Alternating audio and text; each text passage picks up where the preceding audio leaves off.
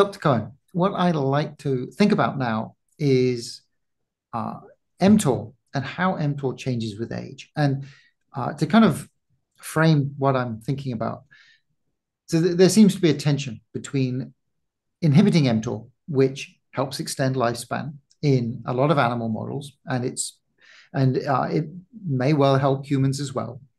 Uh, but also, we need to maintain muscle mass, and we need to remain fit and uh, avoid frailty. And so that kind of implies that we still need to be able to build muscle, which requires mTOR to be activated.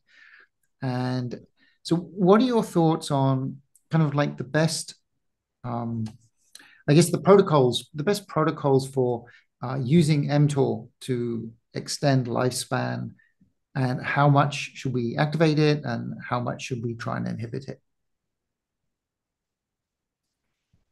Well, I would. I think let's let's let's take that statement, which has multiple pieces to it. So we know mTOR is critical for energy sensing, you know, and we know that the body needs to be yin and yang, right? It needs to grow, it needs to repair, it needs to recover, um, and that involves sort of switching off mTOR and perhaps AMPK, you know, sort of sensing and, and taking the body and cleaning house, going into an autophagy state. Um, we also know that there's health span and lifespan. So, you know, those are overlapping perhaps, but they're, you know, they're they're they're different ball games. So um, with mTOR, uh, you know, the the way I like to envision is we were watching football last night, and I don't watch football very often. My son was sharing U.S. football with his Hungarian girlfriend, and I was just looking at players, and it's been years. It's like the average size of the offensive lineman in the NFL is 6'5, 330 pounds. I mean, incredible. Yes, there's more people on the planet, but that is an mTOR. that is an mTOR response, you know, even in baseball as well. It's like the size of people has grown. Um, when we're younger, we we're we have mTOR signals. When we have more calories, mTOR is driven. The flip side to that is if you keep mTOR on more regularly, right? At some point, you can't grow anymore. The cells have done their job and they go into the state of hyperfunction, right? And anyone, you know, really wanting to to dig deeper in that, read some of Mikhail Blagosklonny's papers. Um, I really enjoy the way he writes. Um, it's very practical, as well as sort of. It's not your typical science paper. He's he's more postulating theories and ideas, you know, based on his knowledge. So talks about hyperfunction and cells going to a state of senescence, and and that process is what leads to disease and it could be cancer, heart disease, or vascular disease, or metabolic disease, and so forth. And those dysfunctions or dysregulations caused by mTOR and being on, you know, he believes, and I, I believe as well, since it's it's it's a large part of it, leads to early disease, right? And it leads to dysfunction and loss of physical function and earlier death. It's unclear to me um, in humans, you know, is rapam or let's get away from rapamycin. Does mTOR restriction or cycling, which we can talk about, is that going to extend lifespan? You know, it, it, theorizing that the human wall is maybe 115 to 120. No one's lived longer than that, no matter what they've done, right? Maybe there's reports of, but but in essence, we don't have any truly documented cases of people living more than 120. And with you know billions of people on the planet, we we should see more than that. And there, there's reasons for that, and it's probably beyond our conversation here. Is mTOR cycling going to get us past 120? I don't think so right? You know, based on my current knowledge and speaking with other people, it, I think it gets more of us to 100, 110, so forth, because we don't fall um, victims to cancer or we don't fall victims to vascular disease or cognitive ailments or even immune senescence. Those are the four killers, or even falling. So that would be, you know, another one. So think of mTOR as that energy sensing. What we want to try to avoid is that hyperfunction state, as Mikhail speaks about. And um,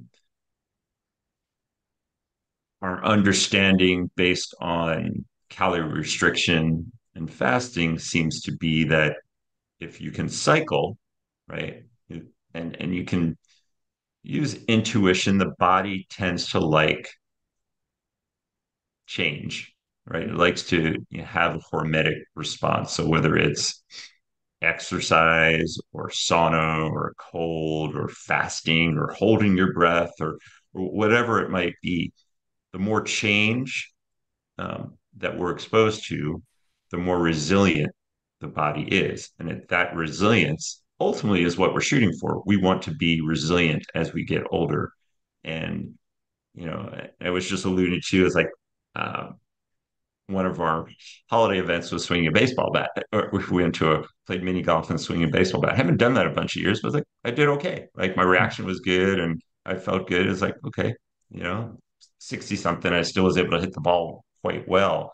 I was like, okay, I hadn't lost that re- resilience, had I? And it, like, I wasn't thinking directly about that, but you know, doing things differently, and you know, from the highest level, we know that whether you know, as you get older, it's it's the consistent rut which we begin to lose function. So hopefully that that gives a sense of where mTOR is. Um, so with regard to you know more specifics on that question is cycling on and off. You know we mm-hmm. talked about that um, previously.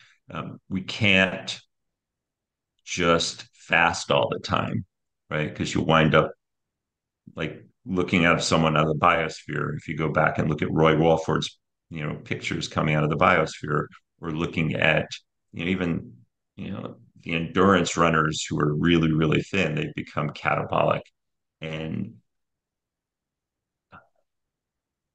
you know one could debate, you know, do you have a life? You have a better health span than someone who is you know a sprinter and you know, there's people who have analyzed Olympic athletes and says the pole vault pole vaulters live longer than the high jumper. You know, eh, eh, I'm not sure how much difference that's that's making, but ultimately, you know, until we truly figure out the interventions that take us past, you know, 100, 110, which is my vision. Um, how do you stay functional? What what's you know, you, you want muscle, you want to be able to balance, you want to be able to be strong and, and do what you want to do. So you need to weigh weigh that as well. And you know, as we are talking as well, there's the next five years or so, there's some dramatic things probably coming on board. So let's let's stay healthy.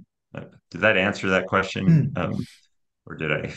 So, well, yes. Uh, okay. But I guess the answer was cycling, right? So, so we need to cycle. We, yes. we have times of growth, and then we have times of of um, kind of retren- retrenchment. When we are young, late nights and minimal sleep seem to be no problem at all. But when we get older, they have a big drain on our energy and mental focus.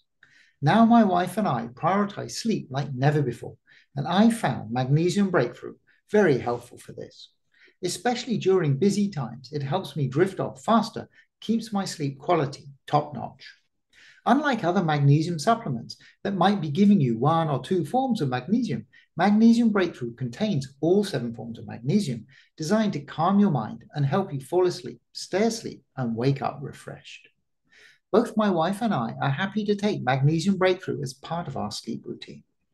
Support your mind and body with this all natural, gluten free, soy free, lactose free, full spectrum magnesium supplement. Simply go to bioptimizers.com slash modern and use promo code modern10 during your checkout to save 10%. Thank you for your support.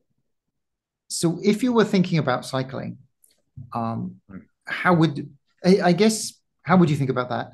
Uh, you know, what time kind of kind of time scale is this weekly, monthly, daily, and uh, and how do you cycle? Yeah. So there's lots of variations in in that realm. Um, there, there's a Russian physician who has a book out. It's called Carb Cycling. Um, actually, he's he's he's a nominee or he has a team in the X Prize contest, and his concept is like three days a week. You know, three three days a week, you're going higher carbohydrates and more strength, and then four days a week, you're doing more endurance and less. I, I think that's a bit hard, and I, I need to speak with him more about it. I was um, I, I liked his his ideas, and also Ross Pelton has wrote um, pharmacologist has, talked about mTOR cycling as well, mTOR switch.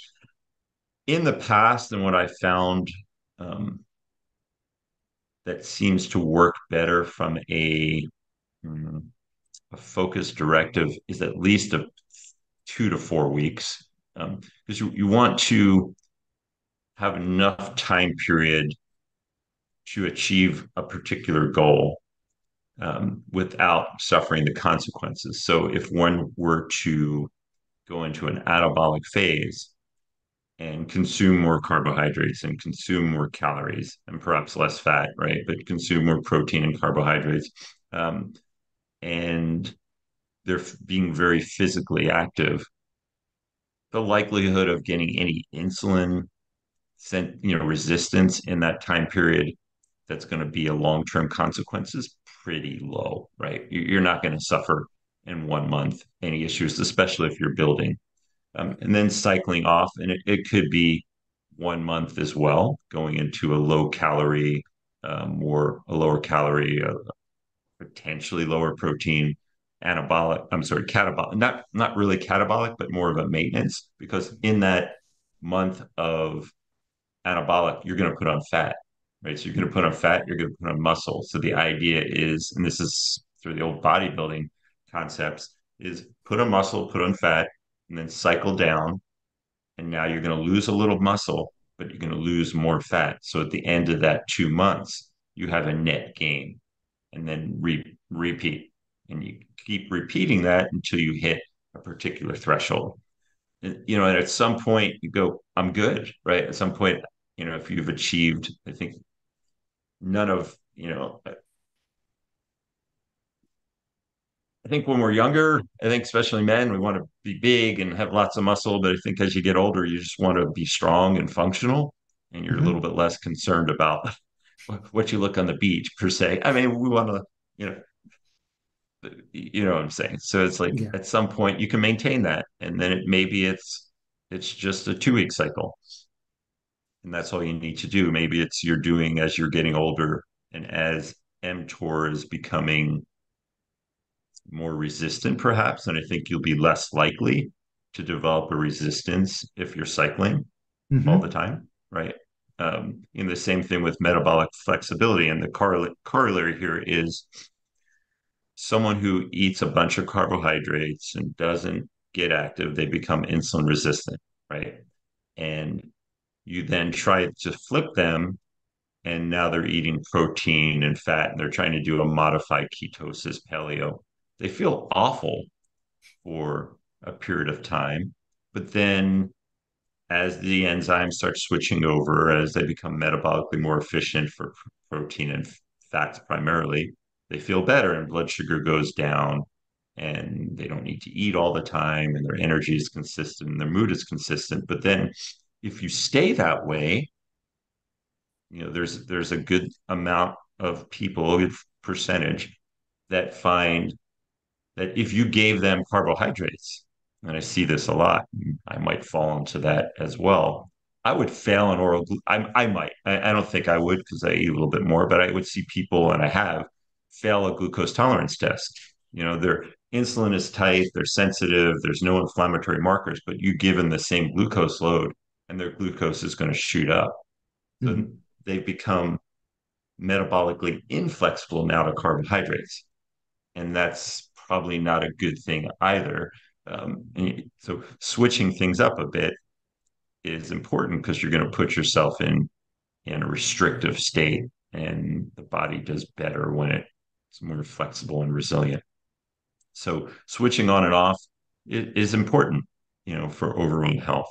So figuring out what your goals are, you know, do you want to maintain muscle? Do you want to gain muscle? Or you're trying to lose body fat? Because you really can't do them all. What's your age? You know, mm-hmm. what what's you know what specifically are you trying to achieve, and then sort of titrate that protocol accordingly. But you know, the key take home point is you can't do one all the way. You know, you can't be pressing mTOR off all the time, nor can you be, you know, pressing mTOR on all the time without suffering. You know, the sumo wrestlers and the offensive linemen are going to suffer consequences, you know, due to that and due to age and illness, and that's clearly seen.